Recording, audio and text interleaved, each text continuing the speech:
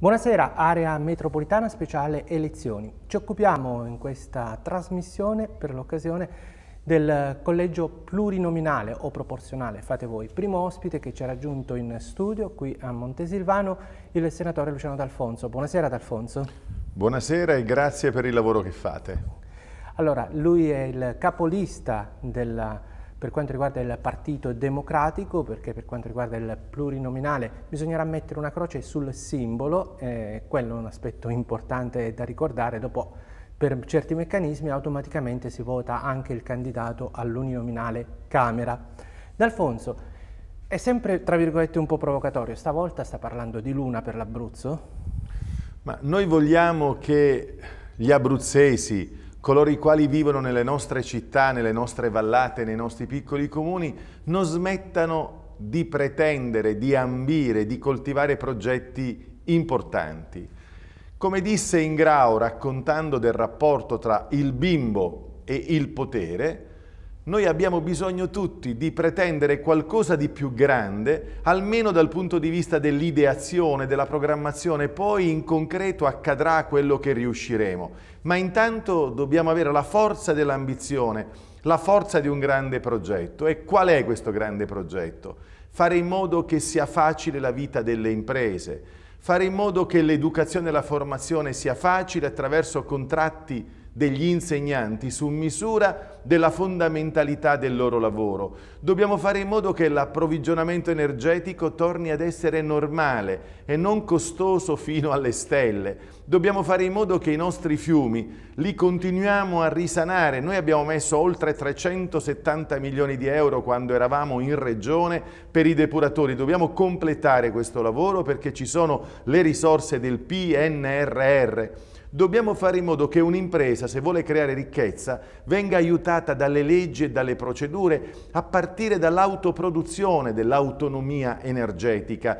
Dobbiamo fare in modo che nella sanità il rapporto tra il territorio e la struttura polispecialistica determini davvero una presa in carico del paziente fragile che ha bisogno di conoscere diagnosticamente quello che patisce e poi di essere immesso in un percorso che sia funzionante, automatico, veloce. Tutto questo si può fare perché paradossalmente stanno cambiando le regole anche in ragione delle rotture di civiltà che la nostra comunità mondiale ha patito con la pandemia, anche con questa sbagliata, maledetta guerra tra Russia e Ucraina. Tutto questo deve svegliare la classe dirigente, il ruolo delle istituzioni, l'utilizzo del potere che deve recuperare per intero una funzione per quanto riguarda i diritti, le opportunità delle persone. Allora la politica ha il compito di una grande visione, poi l'amministrazione declinerà procedure e la cittadinanza, attraverso anche il lavoro della stampa, deve reimparare a giudicare. Io avrei cambiato anche la legge elettorale. Quello che non doveva accadere era di andare al voto subito, perché non potevamo permetterci, nel mentre questa grande crisi, di andare al voto. È stato un errore da e di egoisti che volevano incassare il dato del meteorismo elettorale della sondaggistica. Era meglio continuare a lavorare per altri 4 o 5 mesi per mettere a segno leggi anche che portassero riparo al 110%, che è una misura intelligente che deve continuare a funzionare magari con delle correzioni e delle manutenzioni decennalizzare la misura del 110%, portarla magari all'80%, evitare il mercato nero dei ponteggi e degli attrezzi e anche rendere più sicuro il lavoro degli operai perché quando si fa troppo velocemente poi vengono meno anche le vite umane. Tutto questo lo dovevamo, lo potevamo fare continuando a lavorare in Parlamento. Io oggi pomeriggio devo tornare in Parlamento per fare approvare degli emendamenti che aiuteranno l'economia italiana, qui vi comprendendo anche il 110 che tornerà a funzionare. Però non posso con un piede sto in Abruzzo sulla campagna elettorale e un piede in Parlamento per portare all'approvazione gli emendamenti. Domani vi racconterò gli emendamenti importanti anche per l'Abruzzo che abbiamo approvato. Alla luce di quello che ha detto, lei dopo il 25 settembre cosa si augura? Un governo politico o un altro governo di unità nazionale? Io mi auguro un governo all'altezza un governo senza egoisti che abbiano lo sguardo sull'orologio per capire se la sondaggistica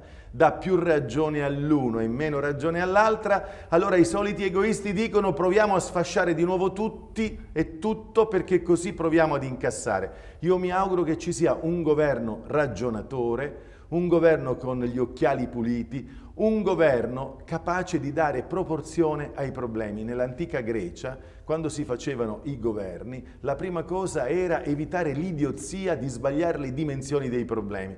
Quello che mi aspetto è che il voto degli italiani sia adeguato numericamente, che vadano a votare tanti italiani come era 30 anni fa, che non vadano a votare la metà degli elettori. E mi aspetto anche che i candidati si facciano un esame di coscienza una volta eletti e non scompaiano. L'Abruzzo troppe volte ha candidati che vengono da lontano, non conoscono neanche la geografia, una volta eletti scompaiono e non si fanno trovare. E lei cosa ha fatto in questi cinque anni? Io ho lavorato molto Quattro come Presidente della Commissione Finanze e Tesoro del Senato, ho portato a casa la riforma della giustizia tributaria, sono stato relatore e Presidente di Commissione, ho ricevuto i complimenti da tutto il Parlamento ed è una riforma che vale 24 miliardi di euro del PNRR. Si stabilisce che l'onere della prova per la contestazione tributaria tocchi all'ordinamento tributario, finalmente nascono i giudici tributari a tempo pieno, non solo professionalizzati, si stabilisce il bollino blu di affidabilità fiscale per quelli che pagano le tasse e si stabilisce anche la responsabilità del funzionario quando fa la sua attività istruttoria. Poi ho lavorato per fare in modo che per esempio ci fossero risorse adeguate per la fusione dei comuni, 105 milioni di euro per la nascita della nuova Pescara, ci saranno anche altri emendamenti che verranno approvati per aiutare la fusione dei comuni. Ho lavorato per il piano regolatore del sottosuolo delle città, il sottosuolo va conosciuto perché quando si fa una scuola, quando si fa un ponte, quello che sta sotto, quello che si vede si deve sapere da parte del comune, a volte Telecom, Enel, Acquedotto non svela quello che c'è nel sottosuolo di un comune e questo ostacola la velocità delle opere pubbliche. Ho lavorato per fare in modo, per esempio, che l'interpello per chi investe da fuori in Italia a favore di imprenditori che possano e debbano sapere ma se io vengo ad investire in Abruzzo quanto devo pagare di tassazione?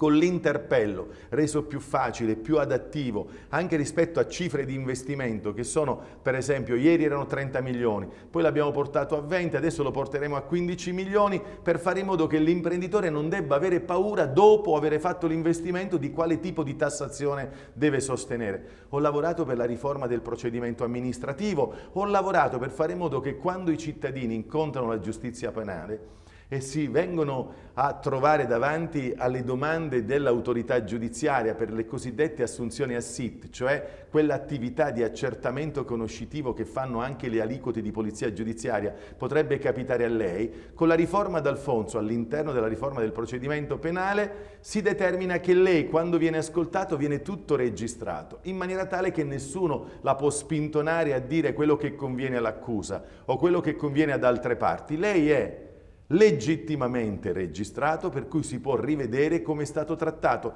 Mi sono occupato di libertà economica, di libertà dei diritti civili, mi sono occupato di portare funzionamento alle istituzioni. Ho fatto rientrare 320 studenti dall'estero durante la pandemia. Ho portato le questioni dei comuni, ho reso presenti gli assenti. Lo sanno tutti gli abruzzesi, nella mia officina ho dedicato 3.052 ore per ascoltare i problemi individuali e collettivi, convinto che la politica serve a riempire il vuoto che c'è tra la norma generale e astratta e il problema concreto delle persone.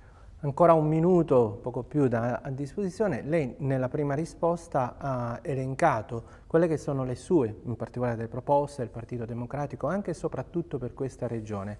Ma che feedback sta avendo sul territorio, visto che lei è uno che si muove molto? Ma io vedo coinvolgimento, interessamento, dicono che anche ho una grande esperienza, io non sono un'esistenza digitale, non ho improvvisato il mio impegno politico, se non ricordo male ho studiato anche in sua presenza scienze politiche a Teramo negli anni del grande Luciano Russi, di Rocco Buttiglione, di Lorenzo Ornaghi, Poi ho fatto tutta la scala dal consigliere comunale a Letto Monoppello, il consigliere provinciale, il presidente della provincia, il consigliere regionale, il sindaco di Pescara, rieletto due volte, poi ho fatto il presidente della giunta regionale, a Pescara ho conosciuto anche l'accertamento, i miei avversari anziché provare a battermi hanno provato ad abbattermi, quelli che ci hanno provato sono scomparsi, io continuo a lavorare per i progetti di crescita territoriale, ho conosciuto la cattiveria, ho conosciuto il consenso, molti di quelli che mi hanno accusato sono anche i miei sostenitori come cittadini nella loro dimensione civica, riscontro, attenzione, riscontro anche il riconoscimento che ho guadagnato una certa esperienza e tecne.